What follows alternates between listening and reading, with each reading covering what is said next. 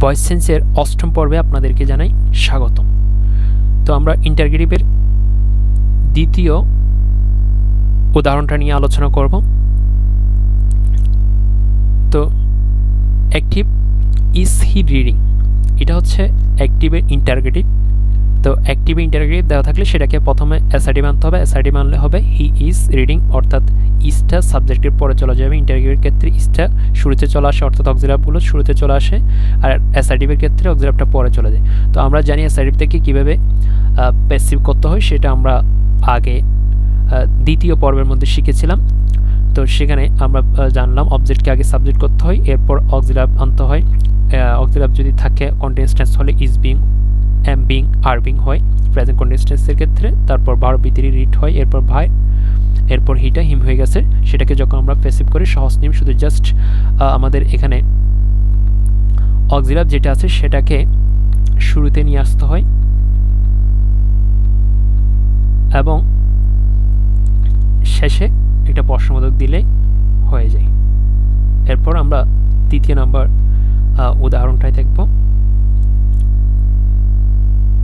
এটাও সেম তো অ্যাক্টিভ ভয়েসের একটা উদাহরণ দেওয়া আছে ডিটিউ প্লে ফুটবল সেটাকে অ্যাসাইটিভ করলে হয় ইউ প্ল্যাট ফুটবল সেটাকে অ্যাসাইটিভ এর প্যাসিভ করলে হয়, আমরা জানি অবজেক্টকে সাবজেক্ট করতে হয়, অর্থাৎ ফুটবল এটা প্লেট এটা যেহেতু ফার্স্ট টেন্স আছে, সেজন্য হবে ওয়াজ এরপর প্লেটা প্লেট হয়ে যাবে, এরপর বাই হবে ইউটার অবজেক্টিভ ফর্ম হয়ে ইউ হয় সেম সেজন্য ইউটা সেম হয়ে গেছে।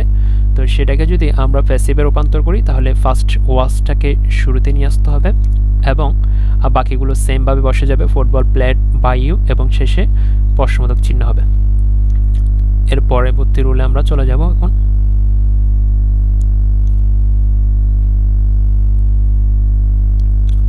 হু যুক্ত অ্যাক্টিভ ভয়েস থেকে প্যাসিভ ভয়েসে রূপান্তর করার নিয়ম। এর স্ট্রাকচার হু এর পরিবর্তে বাই হুম হবে প্লাস টেন্স ও পার্সন অনুযায়ী অক্সিলার প্লাস অবজেক্টের সাবজেক্ট অনেক সময় টেন্স অনুযায়ী কর্তার পরে be plus be ing plus been বসাতে হবে এবং পারবের ফার্স্ট পার্টিসিপাল ফ্রম হবে।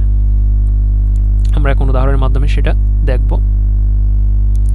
তো এখানে হু ইজ প্লেয়িং ফুটবল তো আমরা এখানে পড়েছিলাম হুয়ের পরিবর্তে বাই হোম হবে।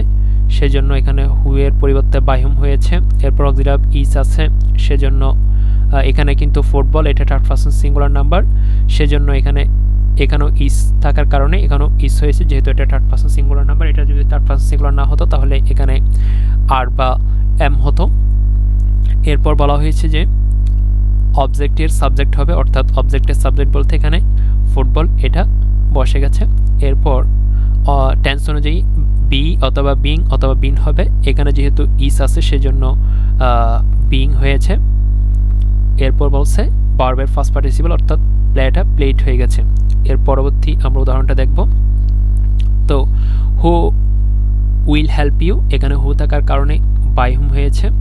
এবং মিটা যেহেতু সাবজেক্টিভ ফর্মে এসে আই হয়ে গেছে, সেজন্য উইল আই হয়েছে, এরপর বি হবে, যেহেতু এটা কন্টিনিউস টেন্স না কন্টিনিউস টেন্স না হলে শুধু বিই হবে, যদি ইন্ডিফিনিট টেন্স হয়।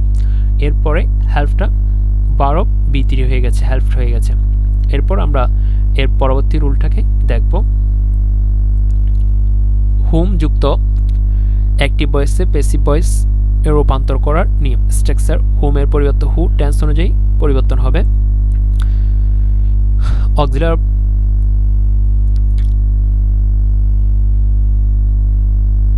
হোম অ্যাক্টিভ ভয়েস থেকে passive voice whom did you see on the route তাহলে হোমের পরিবর্তে হু হয়েছে এবং অক্সিলার হিসেবে এখানে যেহেতু ডিড ইউ সি এখানে ওয়াস হয়েছে, এরপর সিন সিন বসেছে যেহেতু এখানে বলা হয়েছে বারবের ফার্স্ট পার্টিসিপাল ফর্ম বসবে সেজন্য সিন বসছে, এরপর বলছে বাই হবে, সেজন্য বাই বসেছে, এরপর বলছে সাবজেক্টের অবজেক্ট হবে, সেজন্য ইউটা বসে গেছে, এরপর বাকি অংশ যেরকম আছে সেরকম বসে গেছে এবং শেষে প্রশ্নবোধক চিহ্ন হয়েছে। এরপর এইভাবে সেমভাবে আমরা আরেকটা উদাহরণ দেখতে পারি।